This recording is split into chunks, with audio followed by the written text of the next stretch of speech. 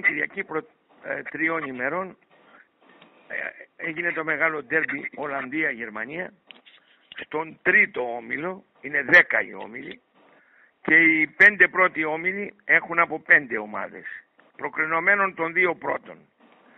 Κάποιοι τρίτοι μπορούν να περάσουν μόνο εφόσον ε, στους ομίλους των οι πρώτοι με το νέο σύστημα κάποια στιγμή το επόμενο έτος προκριθούν, ε, έρθουν πρώτοι και προκριθούν απευθείας. Κάποιοι τρίτοι θα ωφεληθούν. Εδώ λοιπόν ε, σε ένα όμιλο πέντε ομάδων, Γερμανία, Ολλανδία, Βόρειος Ιρλανδία και δύο από τους μικρούς της πρώην Σοβιετικής Ενώσεως, Μπελοράσια που σημαίνει Λευκορωσία, γράφεται Μπιελοράσια, BY και Εστονία. Αυτές θα είναι οι πέντε ομάδες. Οπότε τα, τα, οι δύο προφανώς προκρίνονται Γερμανία και Ολλανδία με outsider και με πολύ λίγες πιθανότητες στη Βόρεια Ιρλανδία η οποία ήδη έχει νικήσει τους δύο μικρούς. Ε, η Γερμανία δεν ήταν φαβορή σε αυτόν τον αγώνα και ήταν φυσικό αυτό διότι ε, και σε καλή κατάσταση δεν βρίσκεται, είχε πάρα πολύ καιρό να νικήσει, είχε ταπεινωτικές ήτες δοκιμάσει και εμφανίσεις το φθινόπωρο στη νέα, ε, στη νέα διεξαγωγή αυτού του περίεργου κυπέλου που καθιερώσε από φέτος και η Ολλανδία παρουσιάζεται ως φαβορή. Τελικά ε, έγινε ένας αγών πολύ αμφιρόπος στον οποίο οι, οι Γερμανοί ευνηδίασαν με δύο θαυμάσια γκολ, ειδικά το δεύτερο γκολ του που ήταν εξαιρετικό, ε, εξαιρετικό σούτ, αλλά και το πρώτο, και το πρώτο γκολ του, τους Σανέ επίσης ήταν πολύ ωραίο. Βέβαια, ε, ε συνετέλεσε πάρα πολύ σε αυτό η απόδοση του, ε, του περίφημου Νόιερ πλέον, ο οποίος έδειξε ότι σιγά σιγά συνέρχεται. Έχω την εντύπωση ότι ο Νόιερ λόγω του τραυματισμού φοβείται να κάνει ορισμένες κινήσεις. Εκείνο το πρώτο γκολ που έφαγε η Bayern από τη Λίβερπουλ στο 1-3 στο Μόναχο ήταν καθαρά δική του αποτυχημένη έξοδος. Και ήταν, τον γκολ αυτό ήταν πραγματικά, όπως λένε, κοροϊδίσιο. Τέλος πάντων, αυτή τη φορά ο Νόιερ στάθη ε, αρκετά ψηλά στις προσδοκίες και αυτό έδωσε και την νίκη, διότι αν είχαν οι Γερμανοί ένα, ένα ή δύο μηδέν εις βάρος, δεν μπορούσαν να το ανατρέψουν καν. Ε, να πούμε λίγα πράγματα για τις δύο ομάδες. Η, ε, η γερμανική National Mannschaft είχε παίξει πριν από τρεις ημέρες ένα απογοητευτικό φιλικό παιχνίδι με την Σερβία 1-1. Ε, είχε δοκιμάσει κάποιους νέους παίκτες, αλλά και από αυτούς δεν ήταν όλοι εκεί παρόντες. Ε, συγκεκριμένα ο, ο νέος δεξιός μπακ, ο Κλώστερμαν της Leipzig, της Λιψίας, ε, δεν, ε, τραυματίστηκε, δεν είναι το θέση να παίξει. Ε, η ομάδα παρουσιάστηκε του Λεβ με τρία, με τρία center back. Τον Ζήλε, τον Πανίψιλο, ο οποίος είναι στην Bayern πλέον, παλαιός από το Hoffenheim. Τον Ρούντιγκερ, τον ε, Νεγράκο που αντικαθιστά πλέον τον Μποάτενγκ. Ε, ο Ρούντιγκερ ήταν στη Ρώμα και έχει πάει ε, από πέρυσι στην Τσέλσι. Και παίζει βασικός, πράγμα που του είναι καλό διότι του δίνει μεγάλη εμπειρία ε, στο αγγλικό πρωτάθλημα. Ο Ζήλε λοιπόν, ο Ρίντιγκερ και ο Κίντερ, ο παλαιός, ε, ο, ο παλαιός γνωστός βέβαια, ο ψηλός, ο ξανθός, ο Κίντερ ο περίφημος, που δεν είχε παίξει πολλά παιχνίδια και στο παγκόσμιο και αν πήγε. Αλλά εν πάση περιπτώσει είναι ο παίκτης ο οποίος ε, ε, επλαισίωσε τους δύο άλλους. Ε, είναι αυτή τη στιγμή στην Gladbach και ήταν στην Πορούσια Ντόρτμουντ προηγουμένως. Αυτοί οι τρεις ε, με ύψος ε, βέβαια ε, ικανών, ικανοποιητικό, ήταν οι center back. Επλαισιώθησαν από δύο νέους ε, ακραίους center back.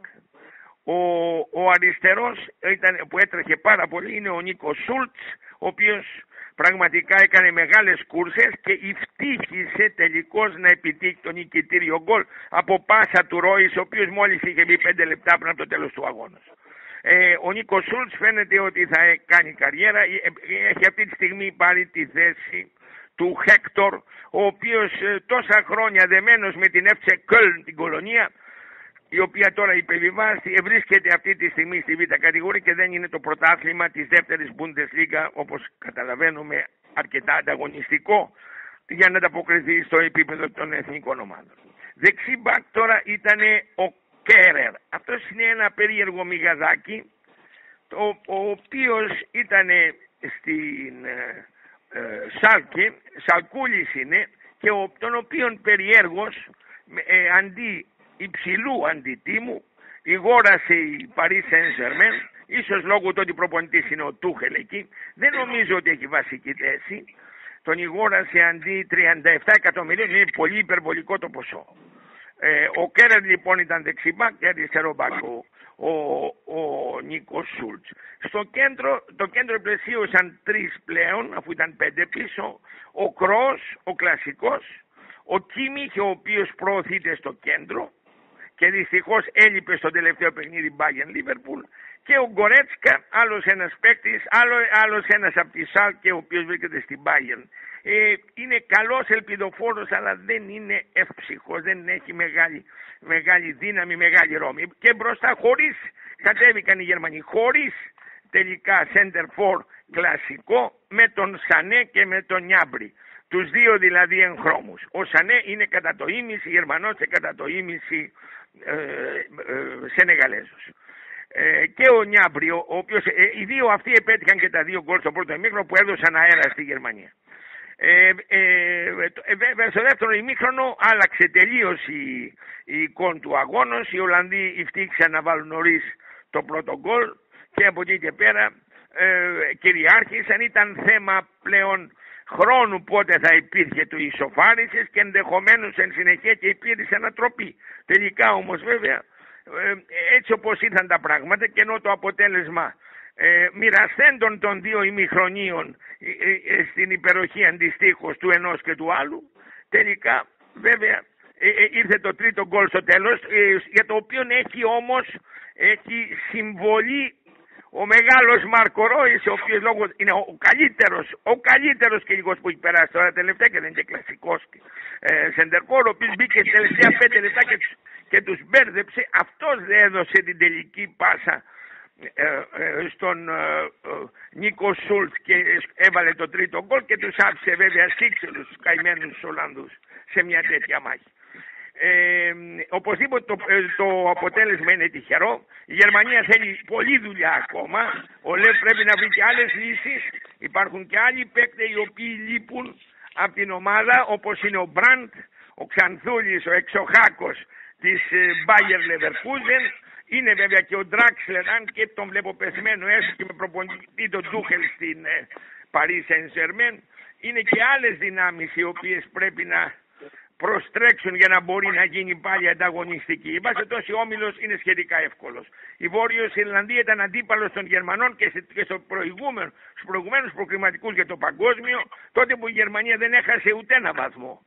Αλλά και αυτό δεν είναι κατά ανάγκη είναι βίωνο όπως απέδειξε η αποτυχία του στα τελικά της Γερμανίας στα τελικά. Δύο φορές την Βορειοελλανδία την είχε νικήσει αλλά την νίκησε και στο προηγούμενο ευρωπαϊκό που ήταν, ε, την αντιμετώπισε με ένα μηδέν. Νομίζω του Μίλλον, νομίζω.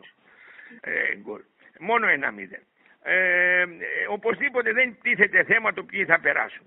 Τώρα για την Ολλανδία, η Ολλανδία ήταν η ρωμαλαία ομάς η οποία ε, νίκησε 3-0 και μετά 2-2 στη Ρεβάν. 3-0 13 Οκτωβρίου του περασμένου του παρελθόντος έτους με πολλούς νεγρούς τώρα πλέον οι περισσότεροι ε, ίσως να είναι καταγωγής από το Σουρινάμο από το Παραμαρίμπο την Ολλανδική Γουιάννα αλλά πλέον είναι και ε, μόνιμοι Ολλανδοί εγκατεστημένοι από μικρή στην Ολλανδία εδώ, εδώ έχω να πω ότι είναι μια ομάδα η οποία έπαιξε δυνατά και τεχνικά, όχι όμως τόσο τεχνικά σαν τους Γερμανούς. Οι Γερμανοί στο πρώτο ημίχρονο έπαιξαν πολύ καλύτερα. Μία ανάλυση πρέπει έκανε τη Δευτέρα ο, ο Γιώργος ο Γεωργίου, αλλά ολίγοι γνώριζαν ότι θα κάνει εκπομπή και έτσι δεν την έχω ακούσει.